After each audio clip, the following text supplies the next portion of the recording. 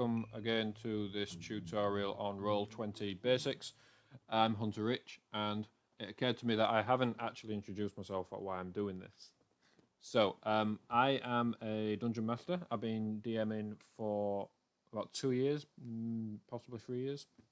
And um, I became a Dungeon Master, like many people, out of necessity because our group didn't have one. The one that had been DM had to stop being DM.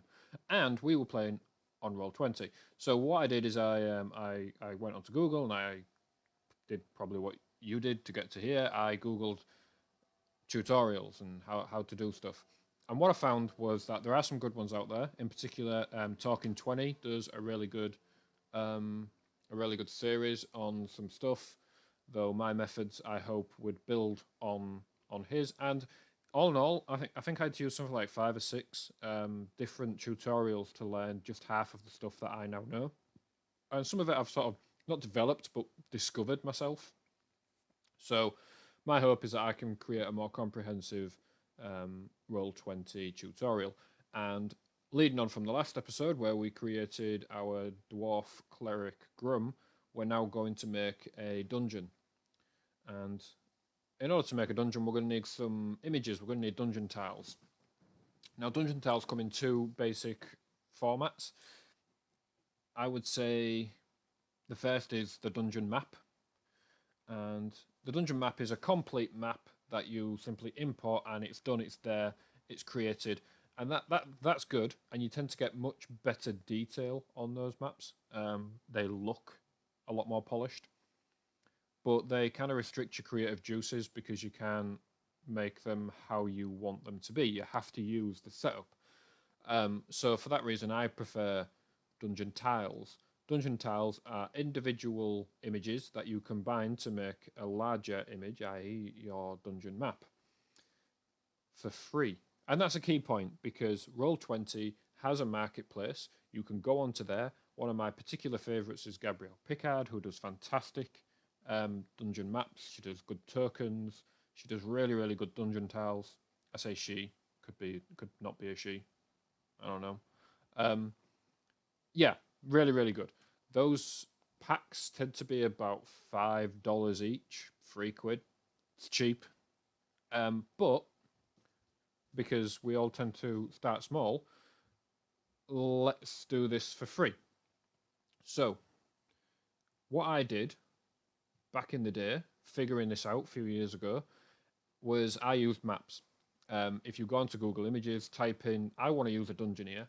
Um, I want to use a really simple goblinoid dungeon. Anyone who has seen Matt Colville's videos, which I, you know, used a lot of his tips and advice, um, they'll know what I'm getting at. A really simple first level um, dungeon.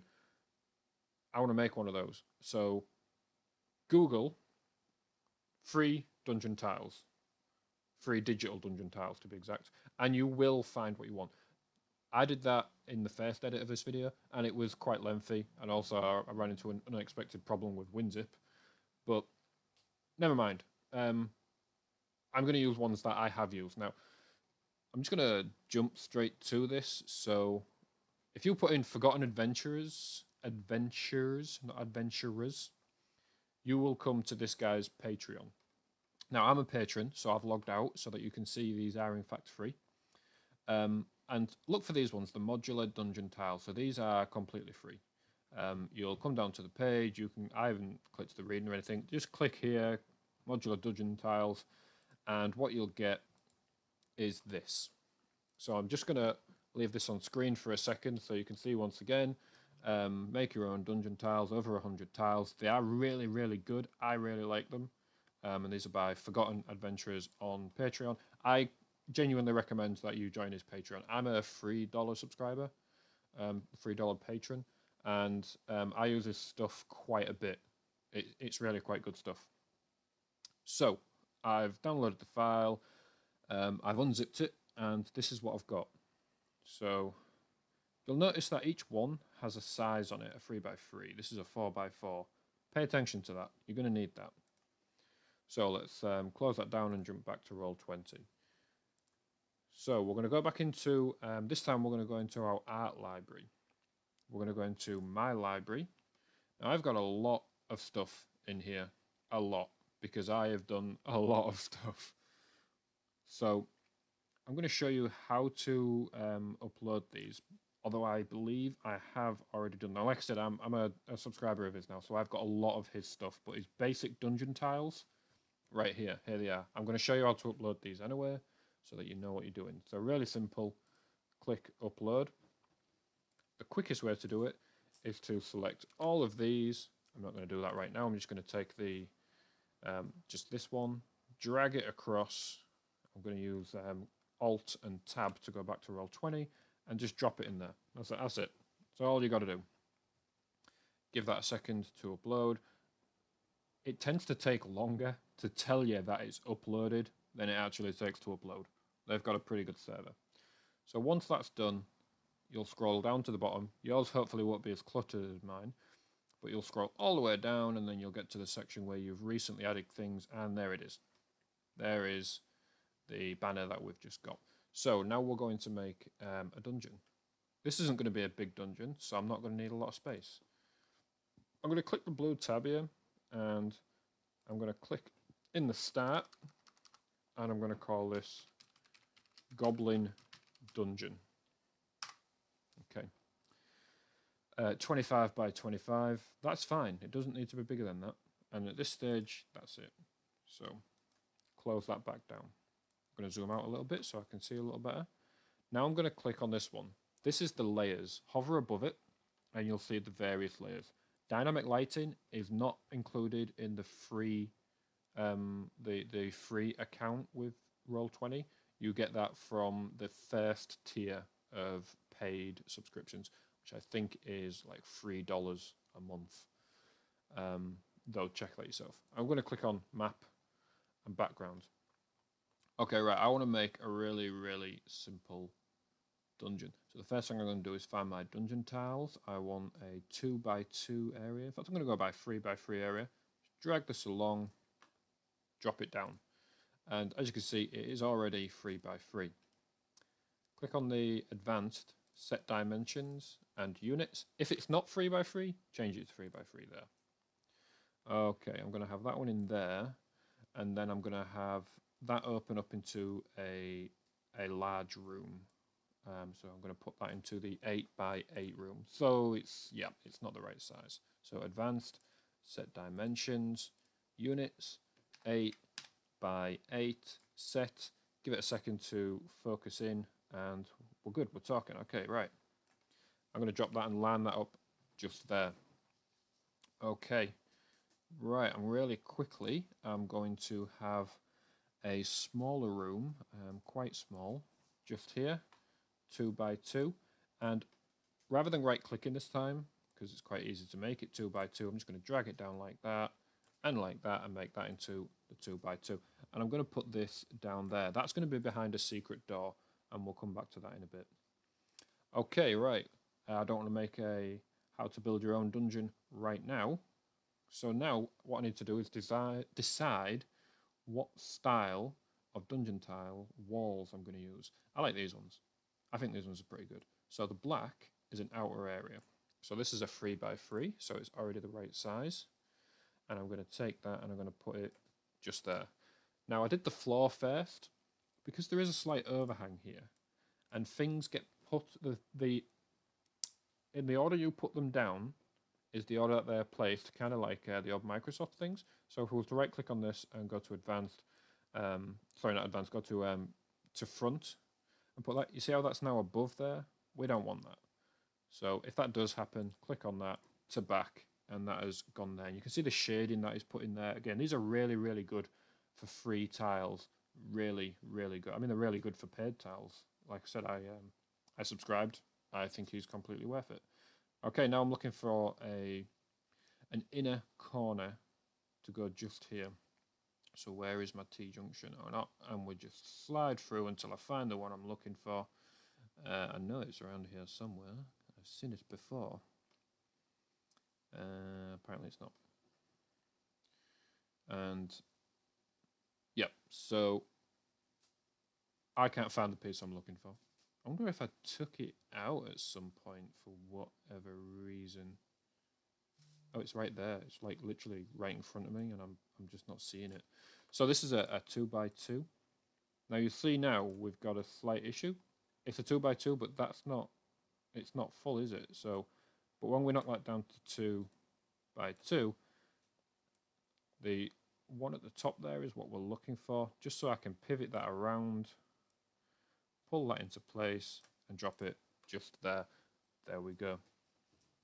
All right, so I'm going to edit now from having done these first few to finished. I didn't really want to do that. I wanted all of these to be live and as they come. But the fact of the matter is, it it could take a little bit of time to to finish this off, um, and I don't think everybody wants to watch that. So I will jump back in a few minutes, though it will hopefully not be a few minutes for you.